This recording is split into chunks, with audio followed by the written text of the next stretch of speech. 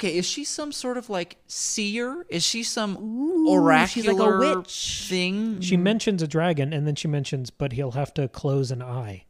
Oh, which applies to the kid being blinded and getting a dragon. The Song of Ice and Fire prophecy mm-hmm. wasn't that like passed down from the Targaryen female from centuries past or yeah, whatever? I think hmm. so. So it runs in their in their line,